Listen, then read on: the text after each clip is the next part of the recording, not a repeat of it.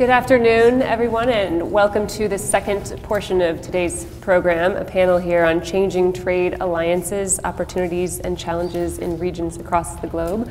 Um, I am Jill O'Donnell, the incoming director of the Yeutter Institute. And um, we're very fortunate today to have two panelists here, two women who have very broad and deep experience in international trade policy. Um, Ambassador Kirsten Hillman is Canada's Deputy Ambassador to the United States, and she has more than 20 years of experience representing Canada, Canada in trade negotiations and litigation around the globe.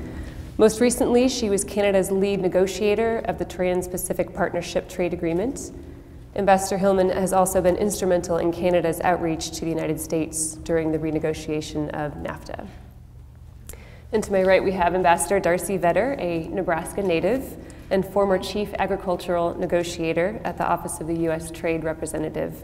She has also held senior international trade policy and promotion positions um, at the U.S. Department of Agriculture and the Senate Finance Committee. So what we're going to do today is have a conversation about many wide-ranging issues in trade policy that are happening now, and also certainly we welcome questions from the audience. Um, if you do have a question, question, please use the microphone for the benefit of anyone watching via live stream so that they can hear your question.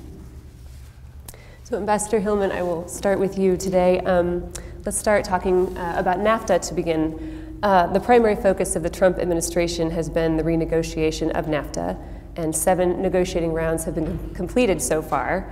What is your assessment of the negotiations so far, including Canada's goals for the negotiation and any stumbling blocks that you see here?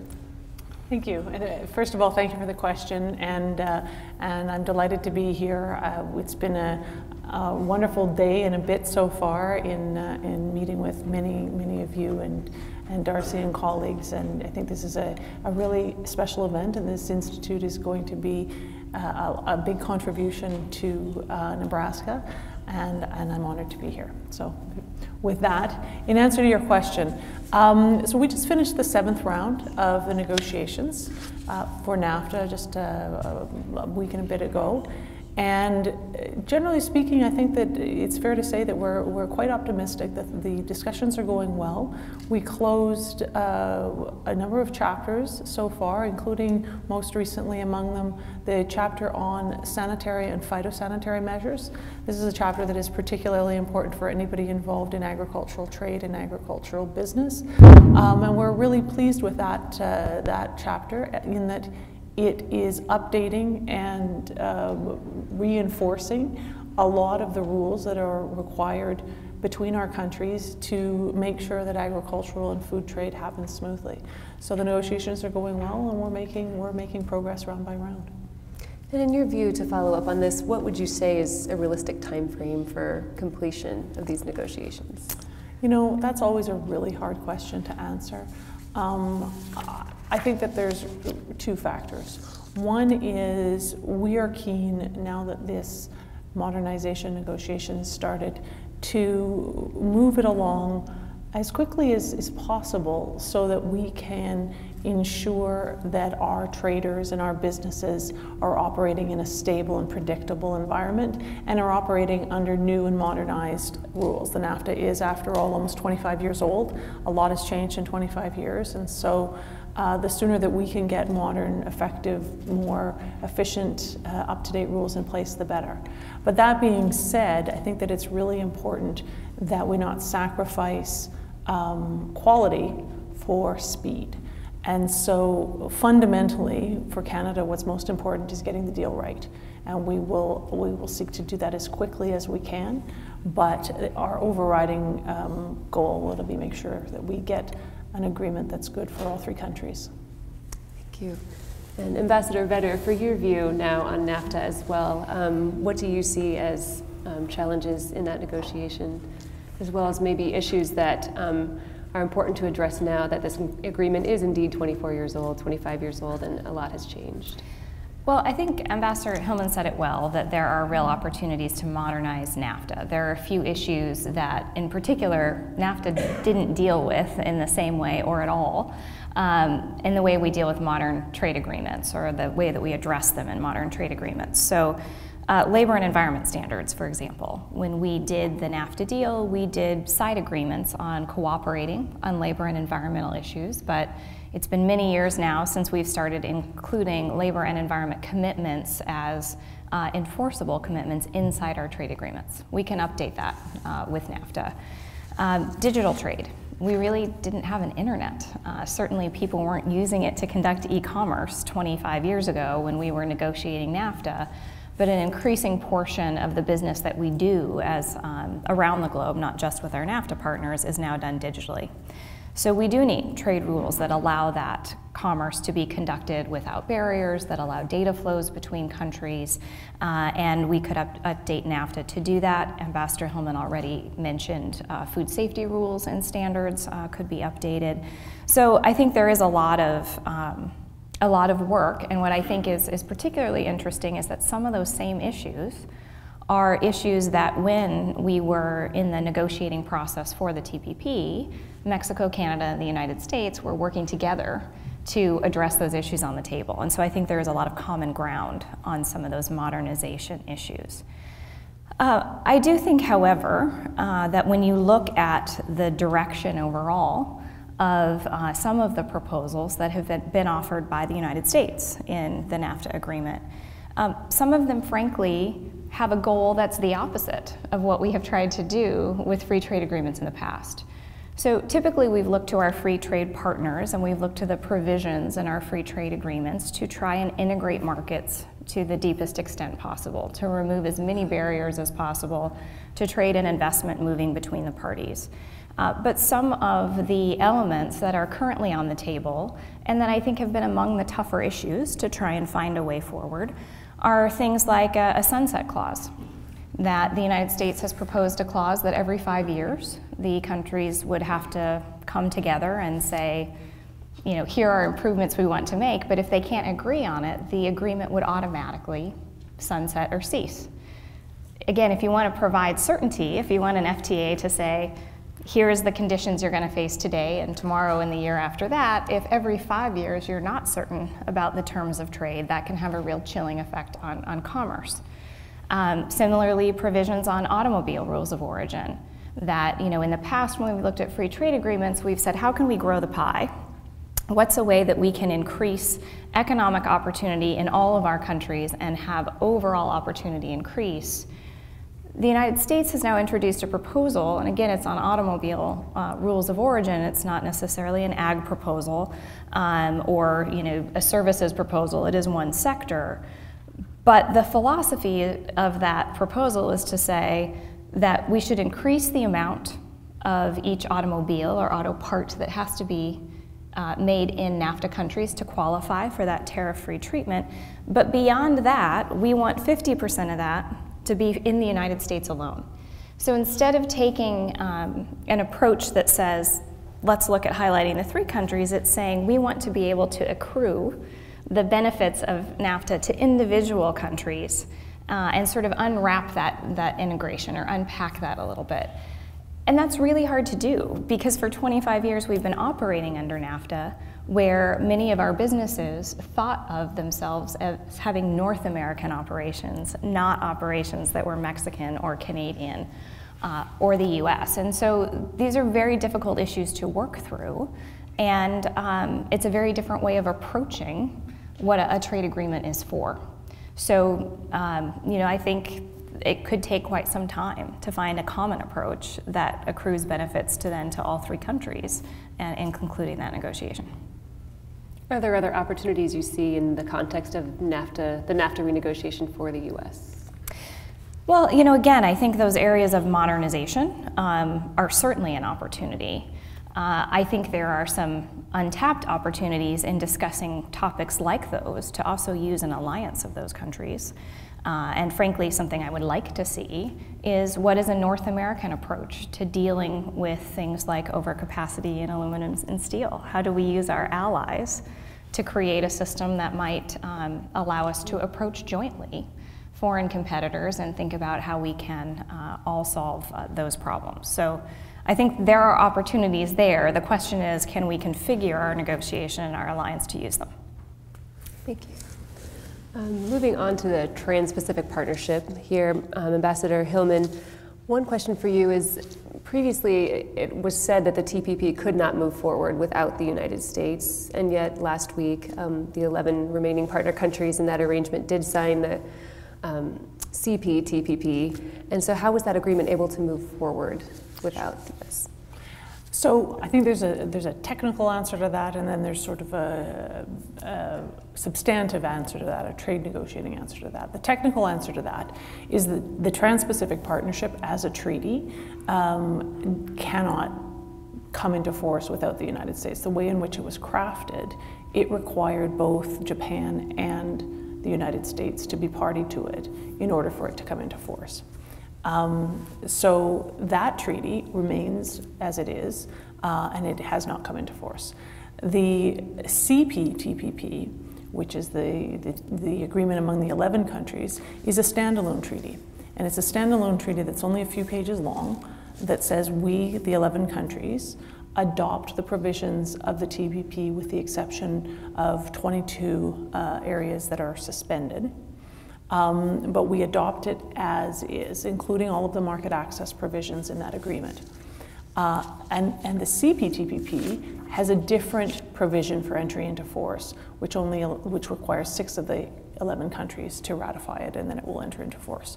So the TPP as a, as a treaty is still there and conceivably could come back to life um, and enter into force if the conditions that are in that treaty are met, and as I say, that would require both Japan and the United States and at least one or two other countries to ratify it.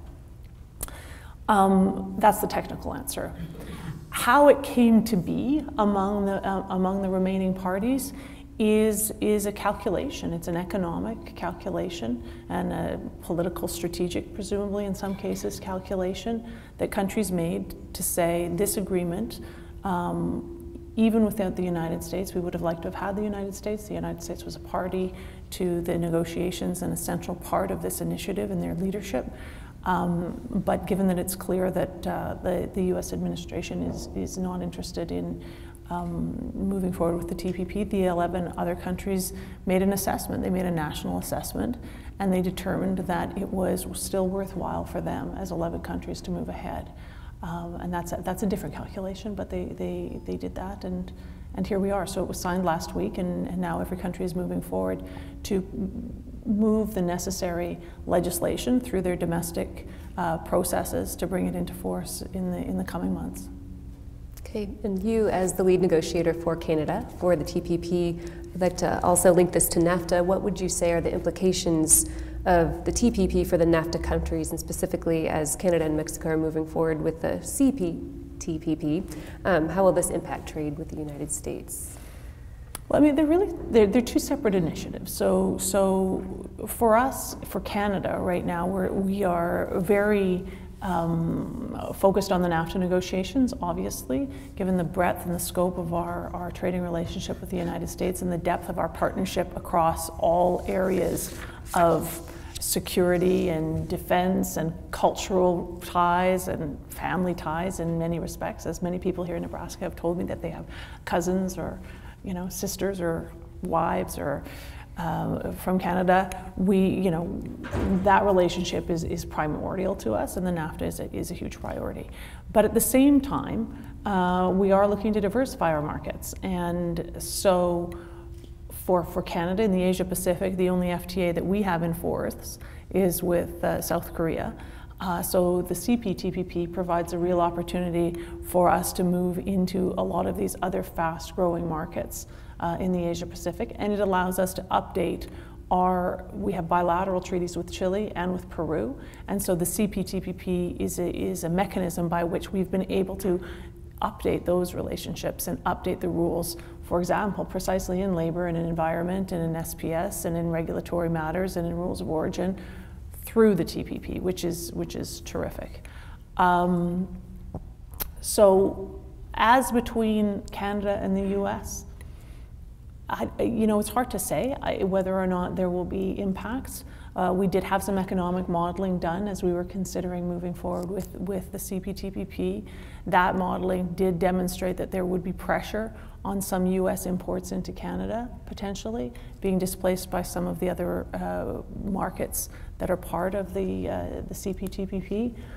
But we'll see, you know, I mean, any of us who have been involved in economic modeling around trade agreements, it is a tool uh, and it can be a, a, useful tool, but the, the realities of the dynamic global marketplace are, are different and, and we'll have to see what, the, what those effects might be. Thank you. Um, taking another look at the TPP from another angle, Ambassador Vetter, the United States has, of course, pulled out of the TPP. Um, what do you think are the implications of this pullout for U.S. producers? Um, and without the U.S. in the TPP, do you think that um, the TPP will have enough um, economic power to act as a, as a magnet for others in the region? I think those are, are two uh, good questions. I think um, the TPP itself was, in fact, envisioned as a template for trade that would affect countries beyond the original 12. So it was a self selected group of 12 who said, Are you willing to put every product on the table? And are you willing to try and craft the highest standards when it comes to things like transparency and food safety rules and digital trade and disciplining state owned enterprises? Um, some things that had never been done before. And so we started with that group very intentionally to try to form sort of a high standard bloc and then when other countries in the region saw the value of that alliance, they could accede to the bloc but not change those rules. So they would have to raise their standards. And what the hope was that its normative value, that changing the way that that region does business, uh, would uh, extend you know, its reach over time, in addition to opening markets, getting, getting rid of tariffs. Um, but part of the appeal was that in that original bloc were some really big economies, including the US and Japan. And so, you know, getting access to those big economies was what would help kind of pull other countries to say it's worth it to raise your standards because the payoff is access to these big markets. And so I do think it's somewhat an open question to say without the United States, do the remaining economies have the same sort of pull? But I think it's also worth considering that if you have 11 economies in the Asia Pacific, very pretty open economies because of the market access they've been willing to put on the table, and you still have big anchor economies like Japan. Um, I think even without being in the TPP, the US stands to benefit somewhat if the countries in the region doing business with the TPP 11 start to modify their standards to meet um, the, the same way of doing business that, that countries do. So I do think it still has some uh, power, even if other countries don't accede to it at the same rate. It also has strategic importance. Um, part of the idea of the TPP was for the United States to really show how allied it was with some of those countries in the Asia Pacific, where we see uh, real dynamism, not only economically, these are fast growing economies, but also politically where you have significant activity by China in the South China Sea, for example. Um, again, you know, back to my, my comment earlier about Ambassador Groser's inability to join us today, um, foreign policy and trade policy are often sort of one and the same. And so I think that also uh, remains important. Um, on the piece about what that means for US products, uh, I come at these negotiations from an agricultural perspective, of course. That was my role to, to help negotiate the ag provisions. And I see a loss of competitiveness with the United States being out of that agreement. Uh, if you think about the Japanese market, for example, um, TPP had around the table a number of our competitors, including Canada, who will now have access to the Japanese market for pork, for dairy, for wine uh, growing high value markets, but Australia, New Zealand, Canada, all big exporters uh, of those products. And so now we've taken ourselves out of that, uh, those gains in, in market access. Um, so with Canada, I think we see, if you just think about NAFTA and TPP, that overlap, Canada will now have access to TPP countries um, that we don't have and are competitors in many areas. When I think about Mexico, they are becoming an exporter of pork, we heard over lunch, but they are also the main sort of export market for many of our, of our agricultural commodities. And when they open to TPP countries, we'll have new competition in that space. So more opportunity for Australia and New Zealand to send their dairy products uh, to Mexico, for example. Uh, so, you know, I think it does change the competitive position to have the TPP go forward without us. Thank you. Um, another question on NAFTA, Ambassador Hillman. Um, one of the U.S.'s NAFTA proposals would, in essence, make dispute settlement provisions within NAFTA voluntary rather than binding. Um, what do you think the impact of a more voluntary system in dispute settlement would be on the NAFTA or on global trade rules more generally? Thank you.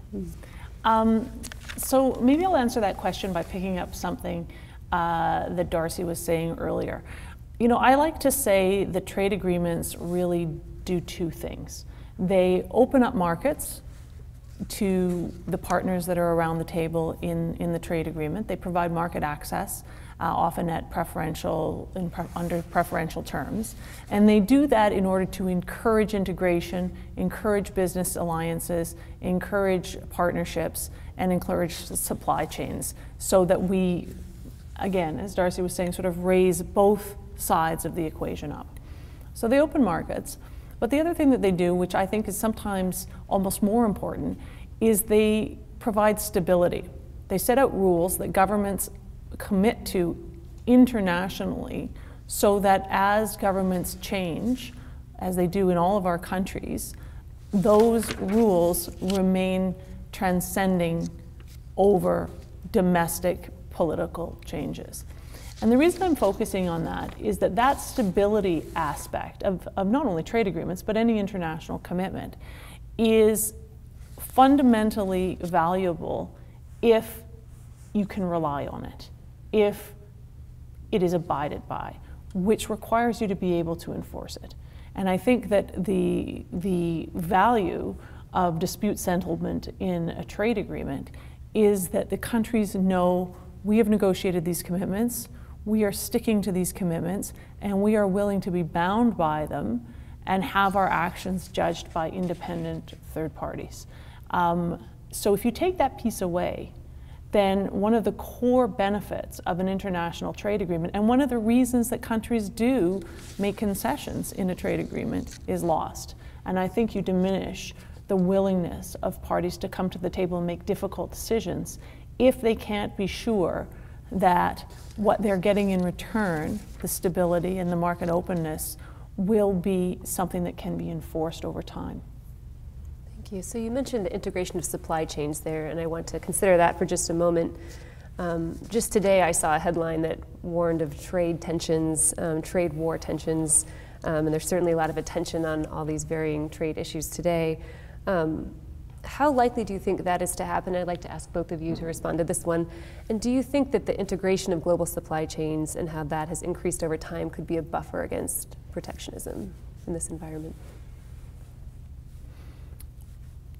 Well, I think that the integration of supply chains, I think that the globalization of our economy, I think that the, the, the, relationships that Canadian businesses have made with American businesses, that Canadian people have made with American people through their, their economic relationships, and, and, and not to mention relationships that they have built in other countries all over the world, they are there and they represent the reality of the way business is done today. Just like e commerce represents the reality of the way business is done today.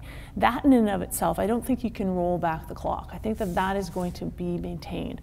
But what I think happens in, in, in a moment, in these moments of potential uncertainty, is that um, people are less willing and businesses are less willing to take chances. They're less willing to go out and start fresh relationships. They're less willing to make investments. They're less willing to uh, put make decisions that could be risky because of the uncertain environment in which they're operating. And so I have no doubt that we will continue to move forward in our, for example, bilateral relationship economically with the United States or with any other country for that matter. But what I think it can be lost um, in times of uncertainty is the forward momentum. I think that people and companies and businesses and individuals become inherently more conservative. And then that, that becomes opportunities lost. And maybe just to close by, on, on this topic by saying, I think that is a shame because I do believe that the North American economic space, if it becomes stronger, more integrated, more mutually supportive, more innovative, more open, will be more competitive. And I think that at this point, in history, in, in global uh, economic environment, and we heard this from Kira's presentation just moments ago, we need to be putting our very best foot forward as a group of countries, to be upping our game as much as we can, and to be as you know innovative and forward-looking as we can be. And as a, as a government official, I definitely see that as my responsibility towards my population, is to find ways to have us be the best that we can be. And I think that, that we can do that much, much better if we're working together. Thank you. Ambassador Vetter? Well, I think um, certainly you can't really open up the newspaper or your Twitter feed or whatever it is without um, seeing the words trade war being thrown around. And a lot of that uh, relates specifically to the announcement in the last week or so that the administration would impose, excuse me, tariffs on steel and aluminum.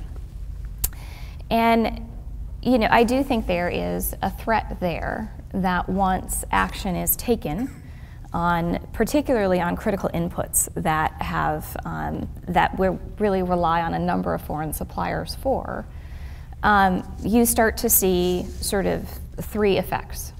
Um, one is, of course, that prices go up on those commodities, and those are big inputs that help to fuel the rest of the economy. So just this morning, in talking to farmers, I heard that the price of rebar has gone up twice since the announcement of those tariffs, and they've not yet even been implemented. So that is uh, that's a, a key point that it does have ripple effects throughout the economy.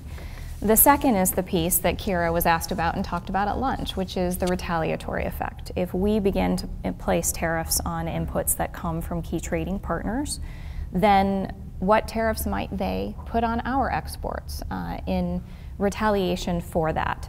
And how far will that retaliatory behavior stretch? So the, the steel and tariff, uh, steel and aluminum tariff decision in and of itself will have an economic impact, but that impact could be somewhat limited. If that begins to, to have carry on effects and other countries respond in kind, in with agricultural products or other industrial goods or even with uh, new barriers on services, then the economic impact of that can, uh, can really start to add up quickly. Um, the third aspect of this, and you didn't ask me about it sort of specifically, but it's the criteria under which these tariffs were applied, and that is the test of whether uh, the decision announced that these tariffs were being put in place because they are a matter of national security. Uh, and that is um, a pretty interesting test under, if you look at the, the rules at the, the World Trade Organization, um, countries can impose barriers when it is really a matter of clear international security. But that has seldom been used and it is written sort of as a self executing rule, a self judging rule. Um, who is to say to another country, yes, it is a matter of security, or, or no, it isn't? Uh, and so it is hard to challenge. And so that creates a real test for the system itself that once it is utilized, and if it appears that it is utilized in a situation where maybe security is not uh, the underlying motivation or there's curiosity about how dire that security system is, does it, or that security test is, does it create temptation for others to say, well, in this case, where I face some hard opposition, is it a security issue? And for agriculture, I watch this closely because India, for example, has been arguing for years that as a matter of food security, it should not have to meet uh, its WTO commitments uh, on subsidies or on reducing tariffs. And so, um, you know, policy decisions are important and have follow-on effects, and other countries may emulate what we do um, for the impact they have themselves, but also for saying how does this decision fit into the overall system, and how do we value uh, that that global system, and how do we want to encourage others to meet that commitment and uh, provide the stability that Ambassador Hillman was talking to us about. So, you know, I think in in sort of one or two short weeks, big conversations about uh, how our system works and how this will play out uh, have certainly uh, erupted and will continue. Thank you. So, on the issue of the steel and aluminum tariffs that, that were announced, um, Ambassador Hillman, the president also announced that Canada and Mexico would be exempt from these tariffs um, for a period of time so that NAFTA renegotiations could be finished. Um, does Canada view these two issues of steel and aluminum tariffs and the NAFTA renegotiations as linked? So the the announcement with respect to the steel and the aluminum tariffs, as Ambassador Vetter said, is based on a provision of, of U.S. law that allows them to be put in place for national security purposes. Um, Canada is a NATO ally of the United States. We're a NORAD partner with the United States, and in fact, under U.S. law, we are part of your defense industrial base, which means that we are essentially the, the same as you when it comes to supplying your defense industry for the products that they need in order to manufacture your, uh, to serve your manufacturing needs in the defense sector. So there is no way by which Canada could pose a national security threat to the United States. And indeed, it's quite the, quite the opposite. We are your closest ally and, and most valued, I believe, national security partner. So in that respect, the, the tariffs not applying to Canada seems perfectly logical and reasonable uh, to us. Um, and that's what they're, that's the way in which they were invoked. The NAFTA is a different story, and we really don't see the two issues as linked at all. The NAFTA negotiations are negotiations that we're participating in um, constructively and uh, fully, and we will continue to do that. Thank you.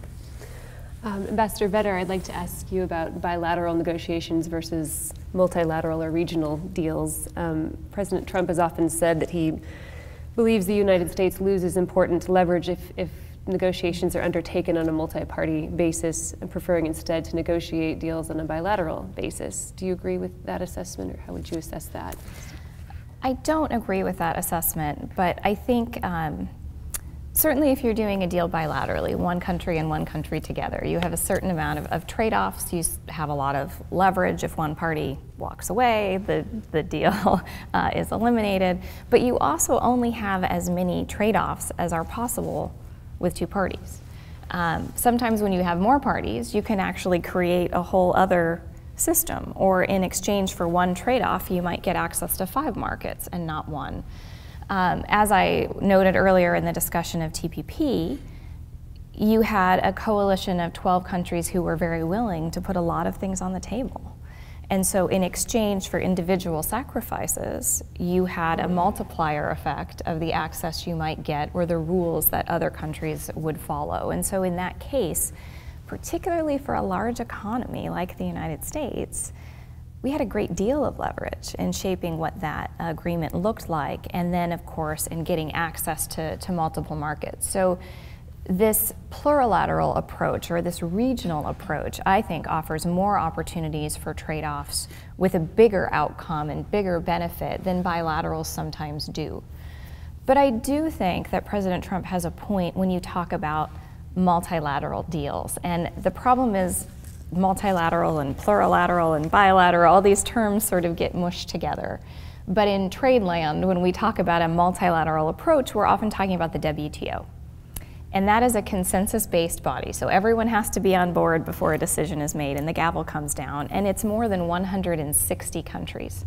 So if you look at the trade deals we've done multilaterally with that many countries, you negotiate very hard to get every country to do what they absolutely can. But to get it across the finish line, you do kind of end up with the lowest common denominator. And so our free trade agreements that we've done with individual countries or regionally with Central America, for example, have typically had higher standards and better trade liberalization or faster and deeper cuts in tariffs than we were able to achieve at the WTO. The benefit of the WTO, of course, is that all countries are in it together, and so the cumulative benefit is still large. So it's sort of a, a roundabout way of saying no, I don't think a bilateral deal is always the best option. Sometimes that's the way it presents itself. That in fact, these regional deals can provide uh, real significant access and in some ways deeper access than a bilateral deal could. Um, but even if a multilateral package doesn't get you as far or as fast, um, it's still of great value because it is applied globally. So all of those tools, I think, should be pursued, and we shouldn't be taking any of them out of the toolbox um, simply by uh, because of their structure. So, sticking with another change in approach to trade policy, Ambassador Vetter, the Trump administration has been focused on the trade balance um, and correcting bilateral trade deficits as a primary goal in trade policy. What would you say are the implications of such an approach? Well, first of all, and you know, I'm certainly not the first to say it. I think um, we entered a time in the past couple of years where we started talking about the language of trade and what it means for the U.S. economy has changed into a more binary kind of language. Are we winning or are we losing uh, at trade? And that's not just President Trump. I think we saw it on both sides of the aisle uh, through the presidential campaign. Um, but I think that's a really reductionist way to look at trade in general and to try to describe what's happening for businesses who are living in a, a global economy. And you know, often um, the the president points to the fact that we have a trade deficit with Mexico to say that that relationship is somehow unfair or that we are losing at trade with Mexico. Um, but to say that the the value of our trade with one country is judged simply by looking at what goods cross the border and in what number um, I, don't, I don't think it's a good yardstick. Uh, first of all, Mexico has about 150 million consumers, and we have far more. So it would be hard for them to buy as much from us as we buy from them. Uh, but second, judging our relationship in that way completely leaves out the fact that there are businesses and, and producers of all sorts in the United States who might import an, an, a product from Mexico transform it, use that product as an input into something else, make an entirely different product, thereby employing Americans and adding jobs to our economy, and export it to a third country where that helps our trade balance with that country, but we're still negative, so to speak, with Mexico. And that's really how our economy works. As things flow from one country to another, it might go back and forth to Mexico several times before it becomes the finished good. And so where that good stops is not necessarily, that's how it's accounted for in our math, but it's not a very good measure of the value that it adds uh, to our producers and our communities. So thank you, Ambassador Vetter. Ambassador Hillman, do you see a need to update the way that we account for um, trade flows and calculate trade balances? Yes, I think I think that there is a need to to update it, and I think it's a difficult thing for us to do. We've spent a lot of time uh, domestically, but also with, with other partners, uh, including at the OECD, for example, trying to catch the, catch the value or calculate the value of services trade in our economy. So services trade um, actually represents the majority of the uh, a larger component of our GDP than goods trade within Canada. And yet, and it's the fastest growing area of our economy as well. And yet, we are not really very sophisticated at calculating the um, benefit of the services industry to our economy. It's something that we need to be thinking about. And it's also, I think, uh, to Ambassador Vetter's point, being able to calculate value added in goods when they move back and forth across the border. And, and that may be, you know, part of one of the things that I think is interesting about this point in time, and this has certainly been highlighted here in Nebraska, is the, is the need that we have to communicate more broadly and more deeply with our communities and our societies around what international trade actually means in the lives of our people. And in order to do that, we would be better off if we had the right kind of data, the right kind of information to bring to the table to demonstrate to people. We're working on it. I think other governments are working on it as well, but it is certainly an area for, for future work. Thank you. Let me just expand on that a little bit. Um, this brings me to a question on the adjustment costs that are sometimes brought up in the context of trade um, and associated with, with free trade. So when we talk about trade with people who work in import competing industries, who may have seen their jobs go away and um, point to free trade as the reason for that. How should we talk about trade policy in that context, and how can we shape it so that the benefits are broadly shared and everyone is prepared for potential impacts? Well, I, I think that it's true and it's clear that with, and I wouldn't say as a result of free trade agreements, but as a result of the shifting globalization of our economy in the last 20 years, uh, the benefits of that globalization have not been equally shared throughout our societies and throughout the sectors of our economy. That is true in Canada, that is true in the US, that's true in Europe.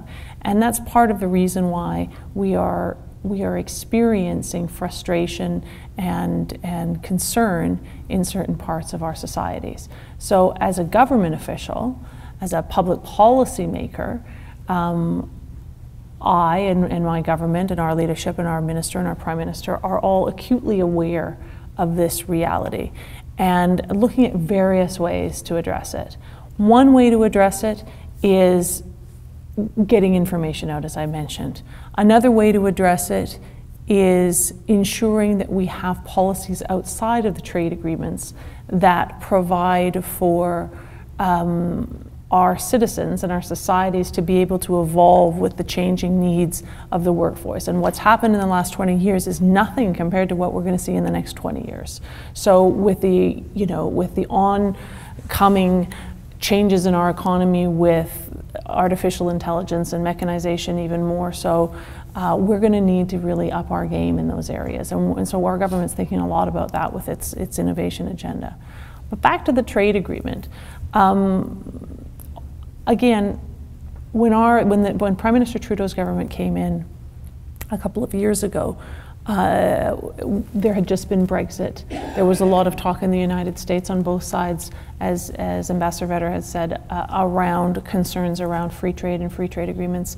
And our government very much took this to heart and thought, you know, it's clear that even in Canada, where we do have a fairly strong consensus around trade, but even there, there are parts of the economy that we're feeling like they were left behind, that they really weren't represented in this aspect of public policy making.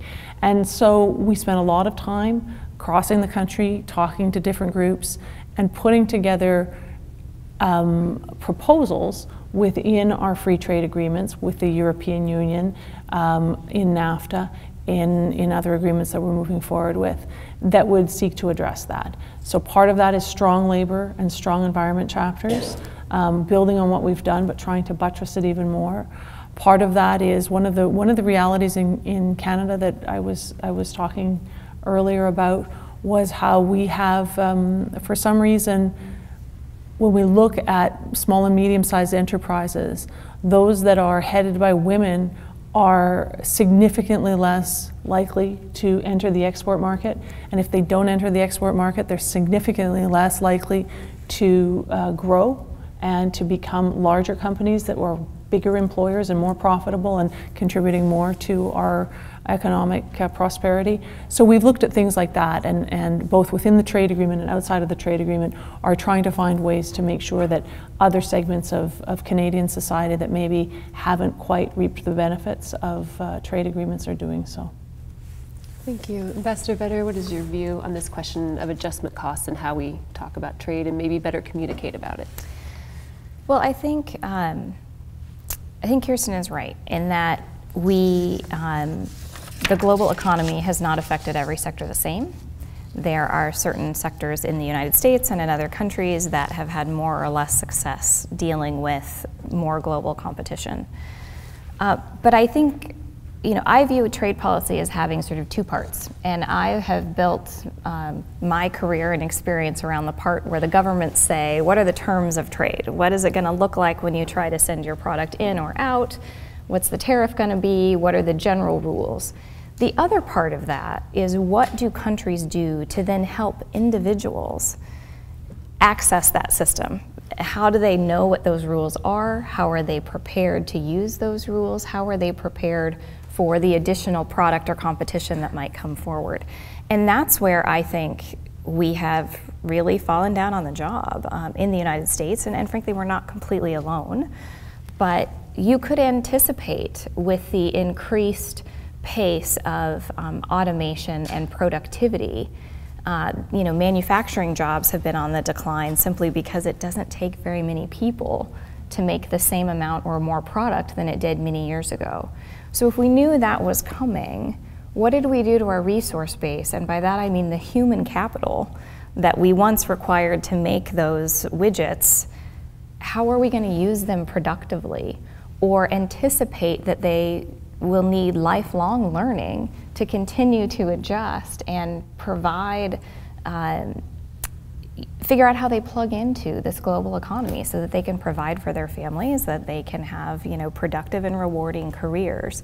And we just haven't done a good job of investing in a systematic and consistent way in one of our biggest resources in human capital. And so you have people who feel very much left behind by this global system. And, you know, frankly, I will say that some of this language about uh, trade and, and were we winning or were we losing, I had hoped that where that would lead was to a bit more of that focus on those who maybe haven't been more competitive. And so I frankly have been a little bit disappointed that our sort of conversation here in the United States has continued to focus on that relationship outside instead of saying, well, wait a second, we actually have a lot to offer here inside. Are we developing it and are we deploying it well?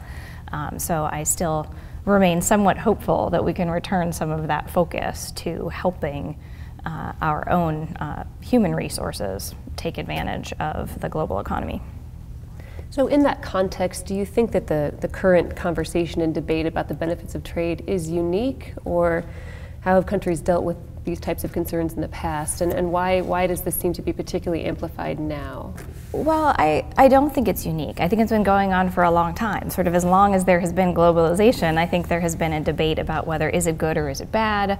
Um, should we look at our economies as, as a unit or should we think about ourselves as being interconnected? Uh, I don't think that's a new debate.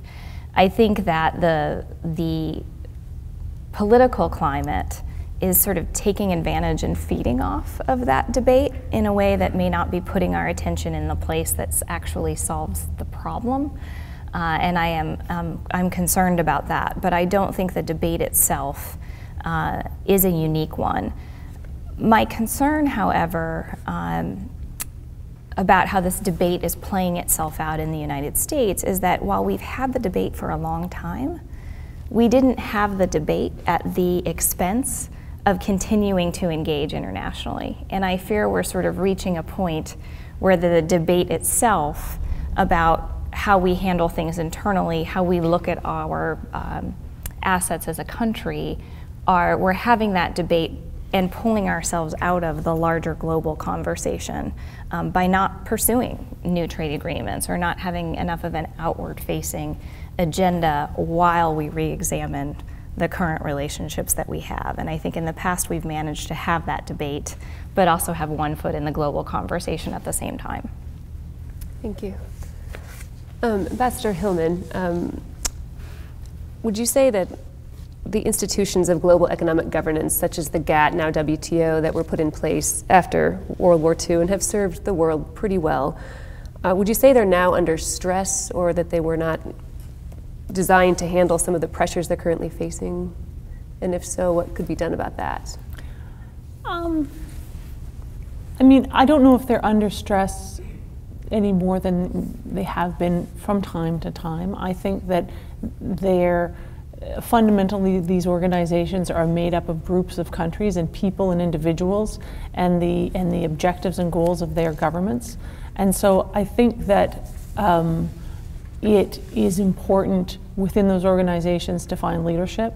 Um, and maybe what we're looking at right now is, is a moment where, in different contexts, leadership is, um, is, is something that is, is emerging or changing. And so we will need those organizations, and I don't think there's any, anyone who, any country that will um, want to walk away from what we have accomplished there. Uh, I just think we're maybe in a moment of a bit of a, a bit of a bit of tension, um, but as I say, humans being what they are and governments uh, being what they are, I think this, this time will pass. It's, it's a reflection of, of a global economy and a global political environment where there's a lot going on and there's a lot of complicated dynamics, both politically and from a security perspective and from an economic perspective, and it's all happening at the same time. And so perhaps there's some stress, but that stress is probably inevitable and it will lead to um, coalitions of leadership emerging, and I'm, I'm confident it'll take us forward. Thank you. Ambassador Vetter, do you have a view on this one as well? Uh, no, I mean, I, I think that, um, you know, certainly I think some of the questions about the global system and, and the rules and how they're enforced uh, are maybe a bit louder than they have been. Um, but, you know, I hope that they they will sort of stand the, the test and, and the, the need for them to provide that stability will also be uh, articulated as well. Um, you know, I, I, would say I'm not less optimistic maybe than Kirsten, but I might say that the threat is a bit uh, is a bit more, uh, and I think part of that is um, that really since World War II and the particular political circumstances that came out of um, that point in time, the United States has always been sort of the biggest champion of that rules based trading system. And I can say personally, as a US negotiator, you always understood that you were in the room at whatever ungodly hour it might be, trying to forge consensus out of what seemed like disarray, that uh, quitting wasn't an option because you were there negotiating, certainly on behalf of the, in, the interest of the United States, but it was always understood too that the United States was also negotiating on behalf of the system. That US leadership was necessary and important and a role that we wanted to play. And so it wasn't the case that at the 11th hour, the United States couldn't be the one to get up and walk out of the room at, at the WTO or in these negotiations we had to stay until we at least found a way forward, as modest as the gains might be, um, because having an outcome from these international institutions was important. And so um, part of the debate about whether we should be subject to those rules or if those rules themselves provide some of that stability and um, a driver in our economy and you know therefore is it important for us to support them I, I believe the answer is an obvious yes.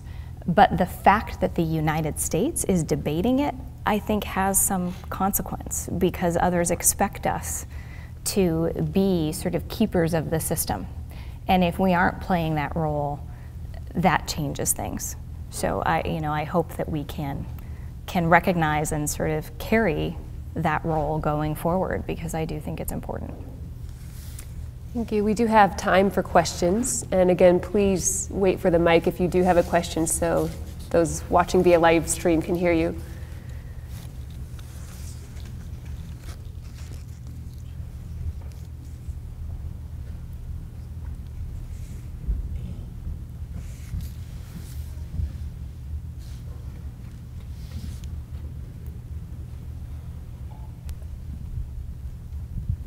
So this is an interesting topic, and thank you for your input.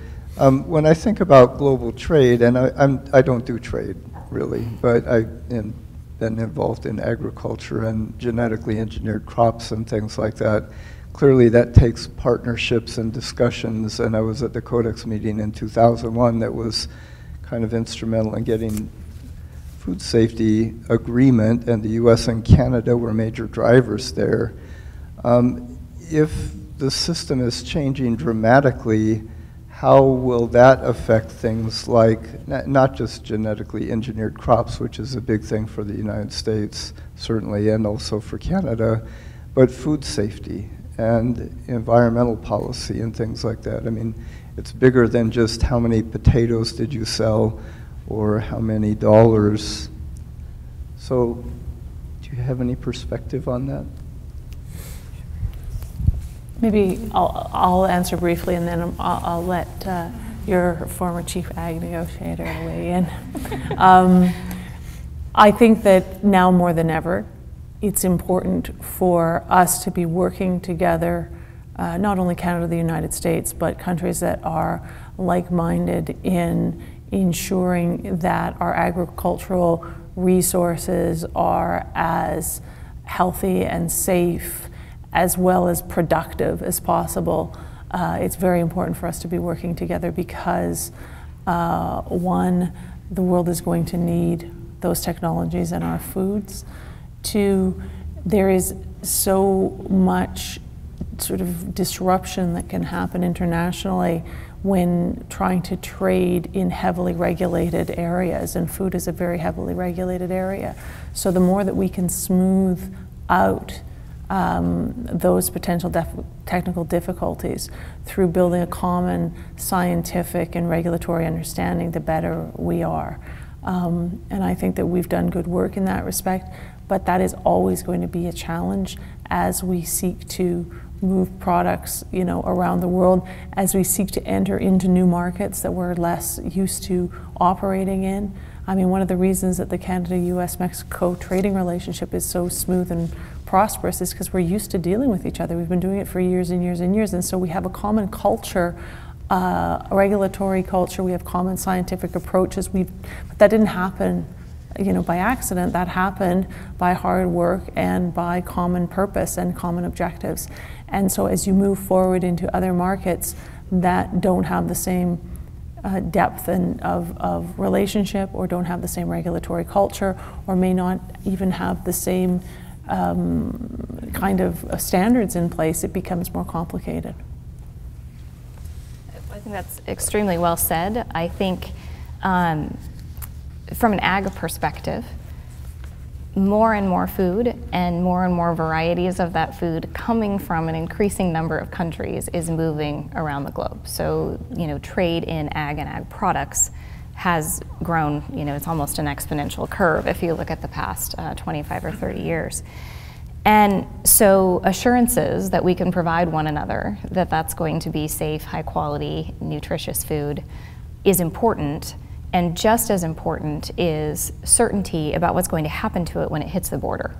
And in agriculture, I think facilitating either by developing standards in common about, you know, an agreed level that scientists from around the world have had input into of you know residues that are safe or of methods that you can use to deal with pests or contaminants or you know a common purpose there is important so that any regulator in any country who adopted those standards could feel like they were genuinely protecting uh, their citizens and so that is important and you know equally, those standard setting bodies, the Codex or the Plant Protection Convention, that sort of bring those experts together to develop those common standards. So, you know, if you're a farmer or a food processor and you meet one standard, then your product should be able to go a lot of places. Those standard setting bodies have been recognized by the WTO. So you know that if you as a country adopt those standards, you're going to be in compliance with trade rules. Those things are, are related. Um, similarly, we can use the WTO and other trade institutions to build trade capacity. And you know, we oftentimes complain about the trade barriers and SPS rules that are too onerous, but in many countries those rules are in some ways onerous because they don't have the cadre of scientists that can perform risk assessments and put in place a more nuanced rule if you don't really know what the risk is, sometimes the easiest thing is just to ban it because then you can, you know, cover yourself and say, I didn't let in this product that has potential implications. But we can use the trading system to build that capacity. And it, either the capacity to assess risk or the capacity to process products through borders. If you're shipping fresh fruits and vegetables and you ship it to a country where the average wait time at the border is two days versus two weeks, the amount of risk and the amount of value you have left in your product at the end is an entirely different proposition as to whether you can, can engage in that trade. So, um, you know, yes, I think our trading system, our food safety system, and you know, are absolutely inextricably linked, and that can be to very good effect. But we have to be strategic about it, and we have to find ways to get as many countries as possible around the table and participating because a number of those bottlenecks are often uh, in countries that one desperately need those calories and more choices for their citizens, but have limited capacity to, to deliver it. There's one right up here. Hi, how are you? Uh, my name is Harry. Thank you so much for the uh, discussion, and uh, it was really helpful. Um, I'm an exporter uh, here, domestic here in uh, Nebraska. Uh, we are also further processors. Uh, my question's a little bit more technical and specific. Um, so, in light of TPP, we were my my firm has invested very heavily in Vietnam, as a, a very high uh, growth. Um, it, it's a high growing mar uh, market for us. And um, however, TPP is dead. So um, we were actively um, um, discuss and uh, find out the possibility open up the ranch in Canada and take advantage of NAFTA to basically buy raw material here, domestically here in Nebraska and Midwestern region, and do a further processing plant somewhere in Saskatchewan or Calgary, and then re-export it to Vietnam. But if the if the NAFTA is in lingo and we're not really sure about what the future gonna hold, um, so our firm gonna reevaluate the strategy. So my question would be, um, uh, as an exporter and manufacturer, as policymaker, what do you think about the NAFTA negotiation for the specifically in terms of ag part? especially involving beef and pork trading between Canada and the United States. Do you think the current administration will have some tariff and uh, obstruction in between? Um, so that's my question. Thank you. So, well, I think we can each offer our perspective on, on what we think. Um, personally, I think even though the process itself could be lengthy, I believe that at the end of the day, we will end up with, uh, with a NAFTA that, that works. And if you look at agriculture, none of the three parties are suggesting that we would reimpose tariffs or barriers on agricultural products. I think the, the threat in the NAFTA process for US agriculture is uh, perhaps a retaliatory one if negotiations go in a negative direction. And it's the cost of uncertainty in the negotiations themselves. So the longer these negotiations drag on and the more uncertain the outcome is, the more I am likely, if I am a buyer of US products in Mexico, for example, to say, well, you know, I'm just going to get a portion of that corn from Brazil. And maybe I'm going to start buying a portion of my wheat from Argentina or my apples from Chile because diversifying is a way for me to manage the risk that this doesn't turn out well or that there's some change that will happen over time. So the process itself does matter. I do, however, believe that at the end of the day, we will wind up with free trade in our ag products, particularly pork and beef, uh, among the, the NAFTA parties. Um, but I think your example is an excellent cautionary tale in that by taking ourselves out of the TPP, the jobs that you would have provided in the United States to further process your goods are now going to be manufactured in Canada to be able to export them to a fellow TPP country. And that is the nature of business. You have a product that you can create and that you believe you can sell, so you have to find the vantage point to do so. Um, and so, you know, I think that's precisely the kind of example that um, we're concerned about if we don't create that access from within the United States will that further processing go somewhere else?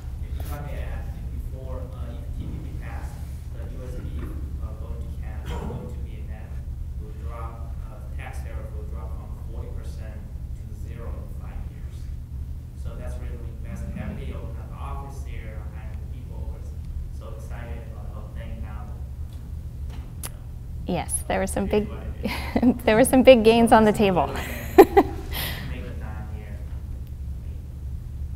yeah.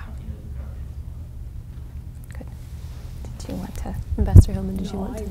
don't have Okay. Another question, yes. Uh, two, two quick questions. One is, first, what impact is the TPP legal text having on NAFTA renegotiations because TPP is sort of the most recent gold standard uh, text. And the second question is if the U.S. said in a year, we want back in TPP, what would be the, the hurdles or issues? What would happen with the provisions the 11 suspended, and would the 11 be open to additional changes uh, in the TPP? Okay. Um, so, with respect to looking to some of the text that was negotiated in the TPP and the NAFTA, um, actually, we're looking at different texts. So, so trade agreement texts are they evolve from one instrument to the other, right? And both, all, all, three countries, Canada, US, and Mexico, have different examples of recent trade agreements. So we just concluded uh, our free trade agreement with the European Union, um, and obviously we concluded the TPP. Uh, Mexico is heavily uh, involved in, a, in an organization in the region called the Pacific Alliance. Um, so these are all instruments that are looked at when we are trying to provide examples uh, on how to update the NAFTA. But fundamentally, what's important to remember is that we're working off of the NAFTA text, right? The NAFTA exists. So for any provision that, any section that already exists, that's what we're, we're looking to. Uh, for brand new chapters that didn't exist when the NAFTA was created but have, have sprung up in other agreements, then each country sort of brings to the table um, examples that they think are, are important and, and high standard. Um, on the question of, maybe could you reiterate your question, your second question?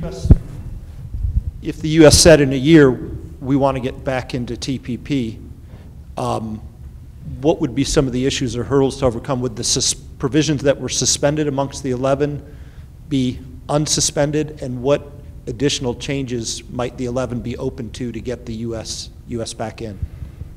You know, I don't think that's a question that is even answerable at this point in time, to be honest. Uh, uh, the, the CPTPP exists, as I said, uh, and it's, it's very much open to accession by other countries.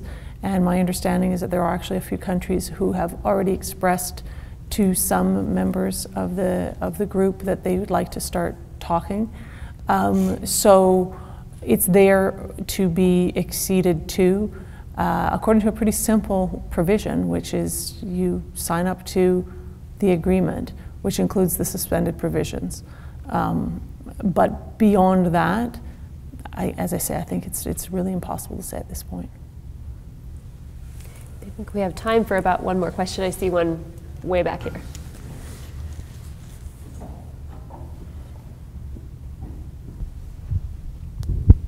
Hi. Um, my question is related with, uh, you've been talking about commercial products and going back and forth and tariffs. Um, how about uh, labor?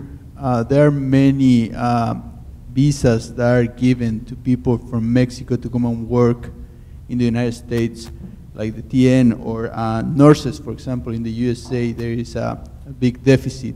Uh, and, and Canada can uh, allow, uh, the USA allow a lot, of people from Canada to come and work as nurses um, under the NAFTA. So um, have you guys seen those part of the, uh, uh, those clauses of the, of the NAFTA treaty and how is that going to affect, if you can give some insight of that? Sure. Um, so traditionally in a trade agreement and then NAFTA is no different. We deal with um, provisions on facilitating labor mobility for temporary um, professional workers.